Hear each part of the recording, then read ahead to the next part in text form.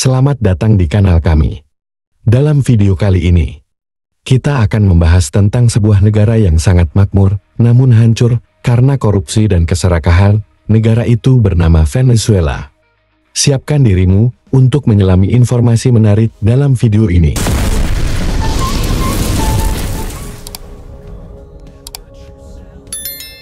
Venezuela, dari kekayaan minyak ke peringatan wisata. Venezuela sebuah negara yang dulunya dikenal sebagai salah satu permata di Amerika Selatan. Terkenal karena cadangan minyaknya yang melimpah dan keindahan alamnya yang memukau dari pantai-pantai yang eksotis di Laut Karibia. Pegunungan Andes yang megah, hingga air terjun Angel yang legendaris, Venezuela adalah surga bagi para petualang dan pecinta alam. Ibu kotanya, Caracas, pernah menjadi pusat kebudayaan yang hidup dengan seni, musik, dan kehidupan malam yang kaya. Menarik wisatawan dari seluruh penjuru dunia. Namun, di balik semua kemegahan itu, Venezuela telah mengalami transformasi dramatis yang membuat dunia terkejut. Negara yang pernah menjadi salah satu tujuan wisata utama di Amerika Latin ini, kini telah berubah menjadi salah satu tempat paling berbahaya bagi wisatawan. Krisis politik dan ekonomi yang mendalam telah merusak infrastruktur negara, merusak stabilitas sosial, dan mengubah lanskap ekonomi yang dulunya kuat menjadi bayang-bayang kehancuran. Venezuela tidak hanya kehilangan daya tarik wisatanya, tetapi juga menjadi simbol kegagalan ekonomi yang dipenuhi dengan penderitaan rakyatnya. Kelangkaan barang-barang pokok, hiperinflasi, dan tingkat kejahatan yang meroket telah membuat kehidupan sehari-hari menjadi perjuangan yang sulit bagi warganya. Apa yang pernah menjadi negara yang kaya akan sumber daya, kini menghadapi krisis kemanusiaan yang serius. Dan risiko besar bagi siapa pun yang berani mengunjunginya. Mari kita jelajahi lebih dalam bagaimana Venezuela, dari negara yang pernah berada di puncak kejayaannya, jatuh ke dalam jurang krisis yang tampaknya tak berujung. Dan bagaimana situasi ini telah menjadikannya salah satu tempat paling berbahaya di dunia bagi wisatawan. Dari sejarah krisis politik, kehancuran ekonomi, hingga dampak mengerikan terhadap kehidupan sehari-hari warganya.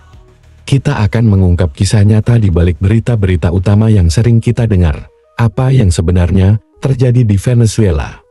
Dan apa artinya ini bagi dunia, dan bagi mereka yang masih memiliki keberanian untuk menjelajahinya?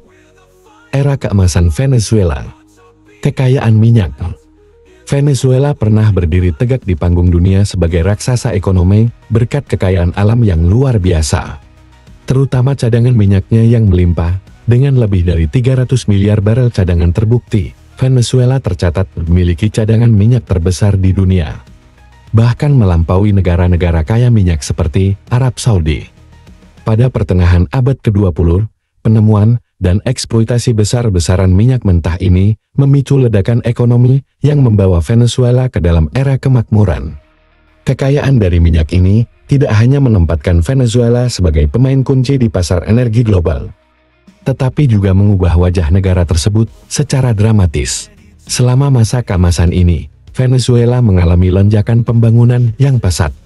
Pendapatan dari minyak digunakan untuk membiayai proyek infrastruktur besar-besaran, termasuk pembangunan jalan raya, gedung pencakar langit, dan fasilitas publik yang modern, Caracas, ibu kota Venezuela, berkembang menjadi salah satu kota paling kosmopolitan di Amerika Latin.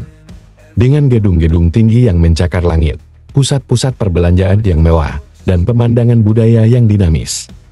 Pendidikan, kesehatan, dan layanan publik lainnya mendapat suntikan dana besar dari pendapatan minyak, meningkatkan kualitas hidup masyarakat secara signifikan. Keindahan alam Selain kekayaan minyaknya, Venezuela juga dianugerahi dengan keindahan alam yang tiada duanya. Negara ini adalah surga bagi para pencinta alam dan petualang, menawarkan berbagai lanskap yang spektakuler. Salah satu ikon paling terkenal adalah air terjun Angel, yang merupakan air terjun tertinggi di dunia dengan ketinggian 979 meter. Terletak di Taman Nasional Canaima, air terjun ini bukan hanya sebuah pemandangan yang luar biasa, tetapi juga simbol dari keajaiban alam yang dimiliki Venezuela, pemandangan Angel Falls yang menjulang tinggi di tengah hutan tropis yang lebat. Dengan air yang jatuh bebas dari tebing, adalah salah satu pengalaman visual yang paling mengesankan di dunia. Tidak hanya itu, Venezuela juga memiliki Kepulauan Los Roques, sebuah gugusan pulau yang dikenal dengan pantai-pantai pasir putihnya yang murni dan air lautnya yang berwarna biru jernih. Kepulauan ini adalah surga bagi para penyelam dan pecinta olahraga air dengan terumbu karang yang kaya akan kehidupan laut. Selain itu, Venezuela juga memiliki Taman Nasional Morokoi yang menawarkan pemandangan laut yang spektakuler dan kekayaan keanekaragaman hayati serta pegunungan Andes yang megah, yang menawarkan pemandangan gunung-gunung tinggi yang dramatis dan lembah-lembah yang subur. Di wilayah timur laut, Delta Orinoco memperlihatkan ekosistem yang unik dengan hutan bakau yang lebat dan satwa liar yang eksotis. Krisis ekonomi dan politik di Venezuela Krisis ekonomi Venezuela, yang pernah menjadi salah satu negara terkaya di Amerika Latin, berkat cadangan minyaknya yang melimpah kini berada dalam cengkeraman krisis ekonomi yang parah, yang merupakan hasil dari kombinasi kebijakan ekonomi yang buruk, korupsi yang merajalela, dan ketidakstabilan politik. Pengelolaan pendapatan minyak yang salah oleh pemerintah telah mengubah apa yang dulu menjadi kekuatan ekonomi negara ini menjadi sumber kehancuran. Pendapatan dari sektor minyak yang seharusnya digunakan untuk diversifikasi ekonomi dan pembangunan infrastruktur justru disia-siakan dalam proyek-proyek populis yang tidak berkelanjutan, pemborosan, dan korupsi di tingkat tertinggi pemerintahan.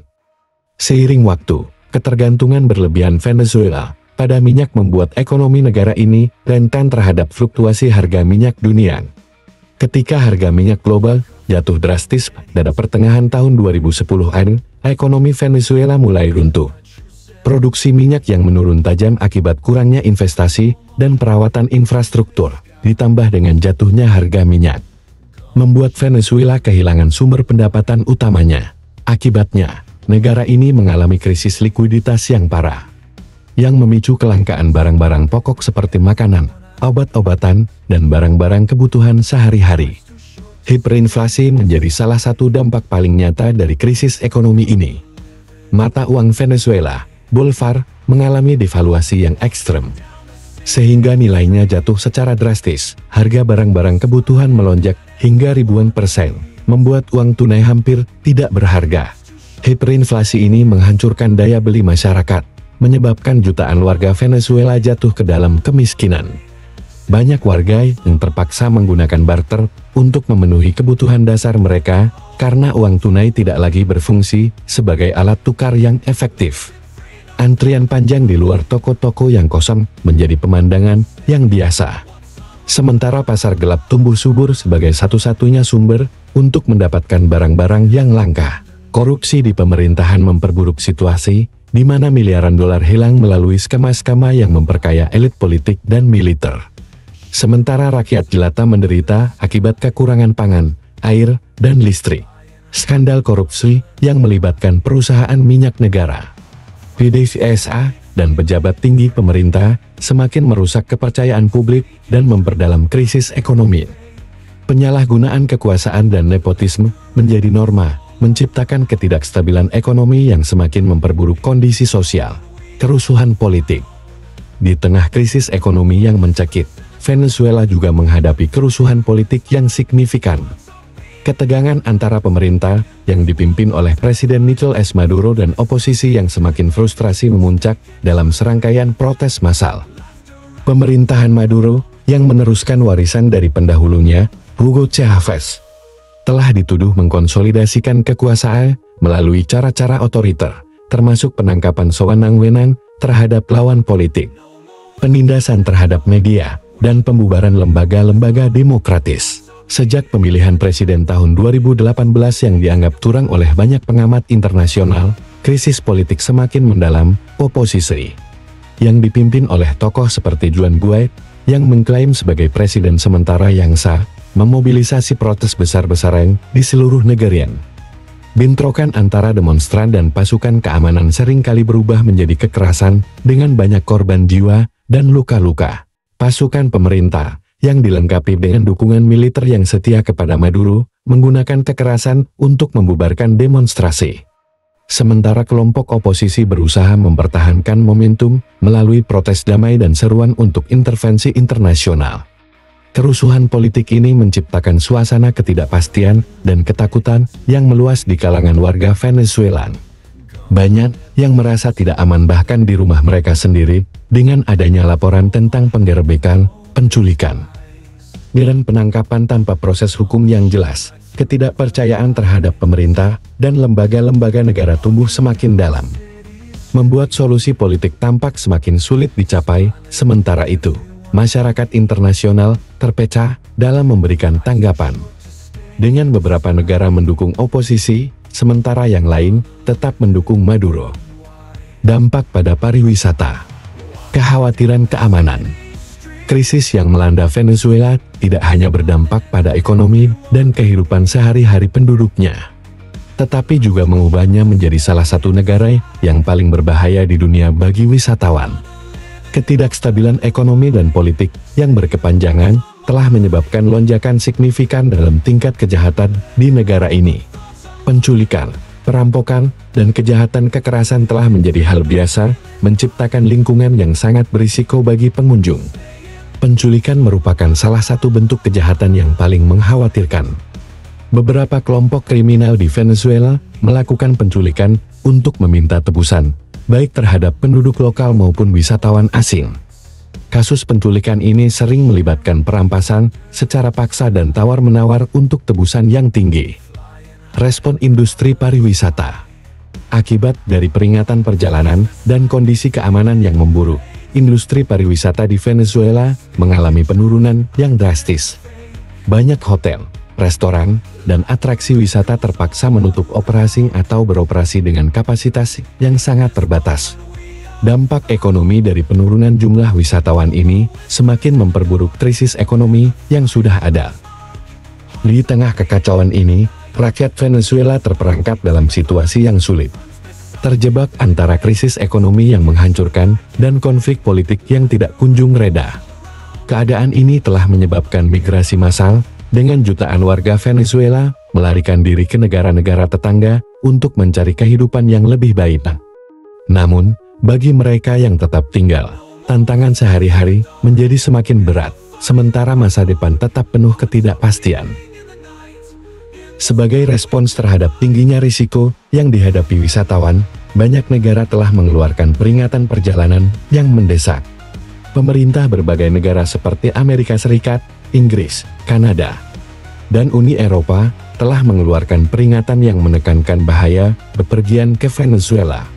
Peringatan ini biasanya mencakup informasi tentang risiko penculikan, perampokan, kekerasan jalanan, dan kerusuhan sipil. Serta menyarankan warganya untuk menunda perjalanan atau bahkan menghindari kunjungan sama sekali. Peringatan perjalanan ini sering kali mencakup peringatan khusus mengenai area-area tertentu yang dianggap sangat berbahaya. Negara-negara tetangga seperti Kolombia, Brasil, dan Peru menawarkan pilihan yang lebih aman dengan keindahan alam yang tak kalah menakjubkan.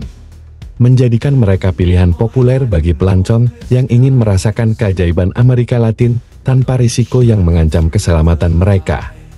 Itulah sedikit informasi mengenai sebuah negara yang makmur menjadi negara yang hancur dikarenakan keganasan korupsi dan keserakahan kekuasaan.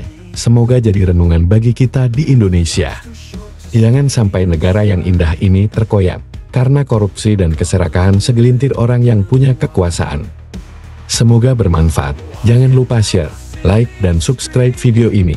Terima kasih sampai jumpa dengan video-video menarik lainnya.